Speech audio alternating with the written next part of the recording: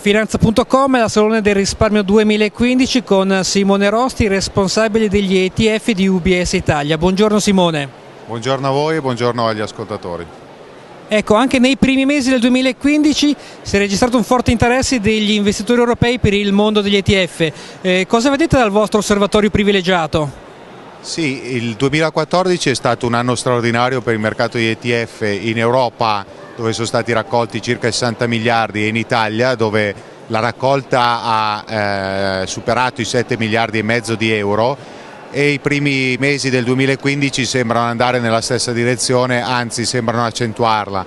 Su Borsa Italiana nei soli mesi gennaio e febbraio sono stati raccolti oltre 2 miliardi di euro, eh, continuiamo a vedere flussi nel mese di marzo e riteniamo che quest'anno possano essere battuti ancora i record degli scorsi anni. C'è parecchio interesse su questo strumento per implementare le varie strategie di investimento e di gestione del portafoglio.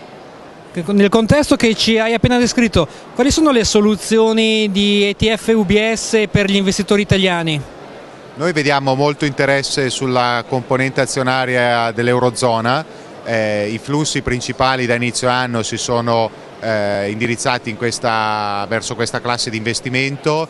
I nostri analisti stimano che ci possano essere ancora opportunità su questo mercato nel 2015 sia per ragioni legate al quantitative easing della Banca Centrale Europea sia perché il quadro macroeconomico del vecchio continente sta migliorando sensibilmente. Eh, I principali flussi su cui abbiamo visto catalizzarsi l'interesse degli investitori sono sull'azionario Eurozona, in particolare sul nostro ETF MCI EMU, eh, che è un indice molto più eh, diversificato rispetto al più conosciuto Eurostock 50, più diversificato eh, significa eh, più eh, con meno volatilità in portafoglio e eh, storicamente negli ultimi 5 anni ha superato l'indice Eurostox per 10 punti percentuali. Quindi per ragioni strategiche vediamo i clienti indirizzarsi verso questo indice.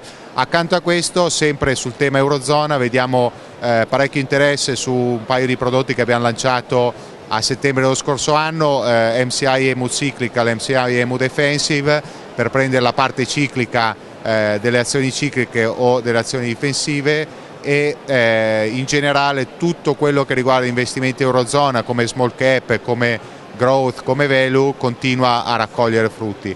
Accanto a questo eh, notiamo continuo interesse sulla parte di corporate, sia corporate in dollari sia corporate in euro. Simone ti ringrazio, buongiorno e buon lavoro. Grazie a voi e buon proseguimento.